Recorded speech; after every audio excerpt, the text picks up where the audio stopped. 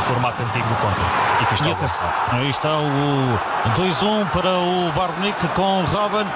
De resto já, já tínhamos falado, era mais previsível que o Bayern fizesse aqui um segundo gol do que outra coisa.